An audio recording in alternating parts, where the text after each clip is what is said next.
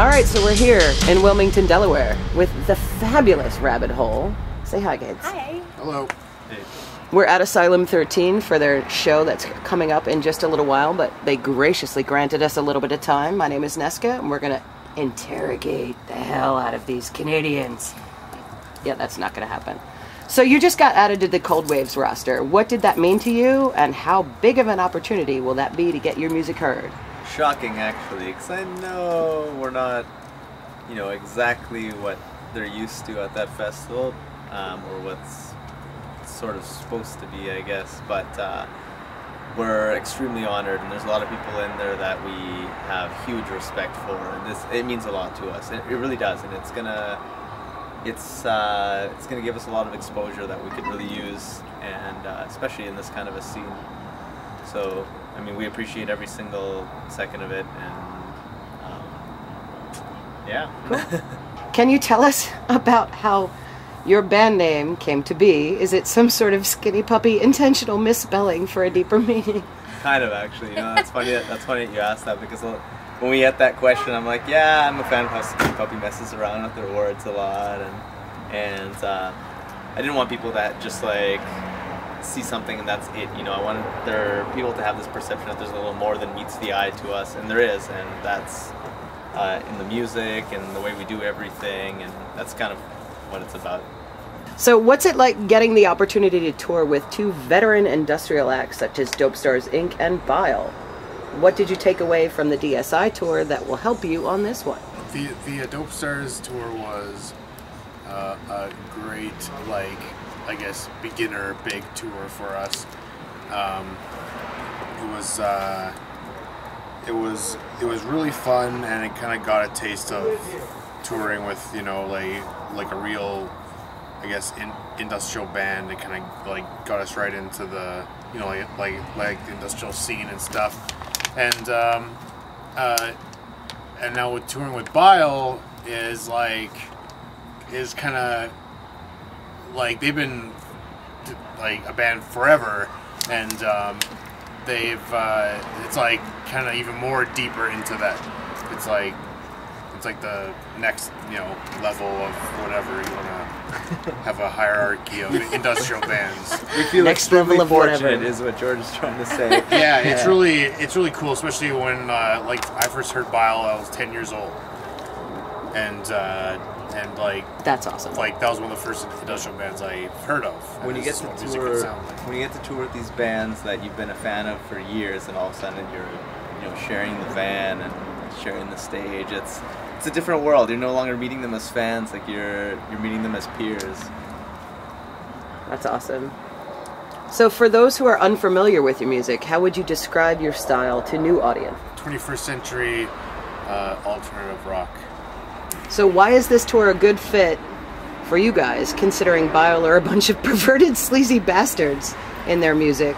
Something that your music doesn't seem to focus on. Well, you obviously Just don't know us because, very well. just because our music isn't like that doesn't mean the people in the band are not like that. True that. Especially Chalsey. Oh, that no one saw that. That never happened.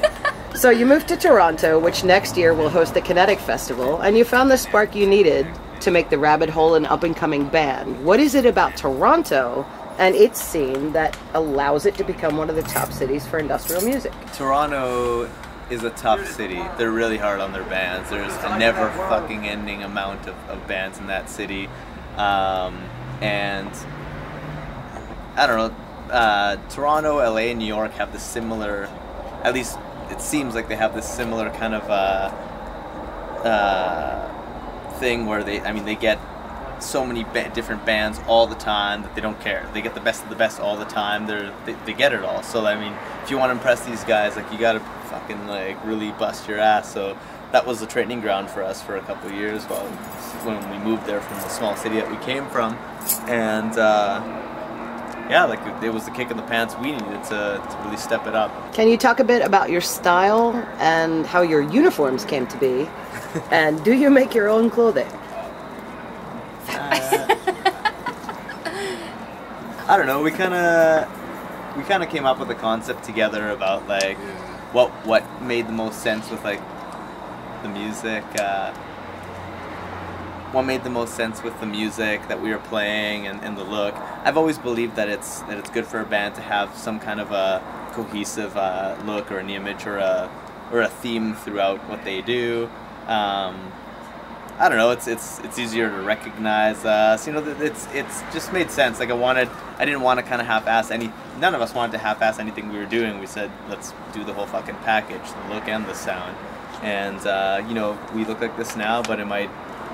I don't know. Next year it might be a totally fucking different thing, depending on what the music is like and whatever, whatever comes up next. So it's all about the theme for us. So you had some help and input from Dave Ogilvie on your last album. Considering his vast experience, what was he able to bring out of you that wasn't there before? Um, when I went to Vancouver, uh, when I was working on Refuge, um, Dave, I mean, Dave is amazing. Like this, it's, it's obvious why he's who he is, and whatever. Like when you see him behind that board and he works his magic. Um, he made the record sound like as clean and slick as it does. Like, um, and his input was like it was his his job was mixing the record. Um, but there were a couple spots where he did input in production. It was there were a couple songs that I wasn't too comfortable with, and I sat down with Dave. And I'm like, hey man, I don't feel comfortable about these two songs. I don't even know if I want to add them to the record. Um, and then he's like, all right, let's maybe we should shift them around, shift the parts around, or maybe we should do this, or maybe we should add that, or and and he was also really cool. Like if I was like, uh, there was one spot in the song Delusion where um, we have this little break, and there's like an acoustic little break in there, and that wasn't there when I like we didn't have that when we got to the studio. I said to Dave like, man, I wish I had put an acoustic line somewhere in the record. Like we'd never put that anywhere, you know, in this electronic kind of record. And he's like, you got something? Let's do it right now. Boom, set up the booth. We fucking recorded it, and I don't know. He's just really cool. Just like ready to do anything. If you're, he'll, he's yeah. If you got an idea, he's ready to work with it. So you feel it, he makes it work. Yeah, and it, it helps because like he's into this kind of music. You know, he wasn't just there to get it done and you know next. He was there bobbing his head, grooving to the music, singing along. That must be So- awesome. yeah. So how do you balance the percentage of male and female vocals? Do you write songs specifically for Chalsey to sing? I don't. I don't write the songs. So this is your. this is your No, it's it's. Uh, I would like actually more female vocals. To tell you the truth, I would like more female vocals. We haven't really had a chance to really showcase Chel- what Chalsey can can do yet. Um, she has an amazing voice, an amazing range that we haven't used yet.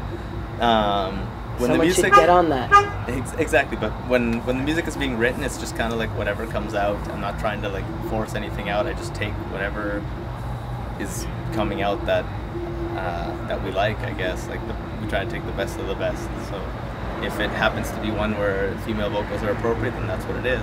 Um, the song "Serenity Falls," um, which is the track which is all female vocals on on Refuge, was uh, when we originally were in the studio. I was the one singing it, and we stood back and said, you know what, It doesn't sound good. It Doesn't sound good. Let's let's try female vocals on it. So, yeah. Gotcha. So is there anything specific that you're doing to set yourself apart from other electronic acts? We're we're a rock band. The, the, like the the electronics part, I think of as secondary. To tell you the truth, like we're a rock band with electronics.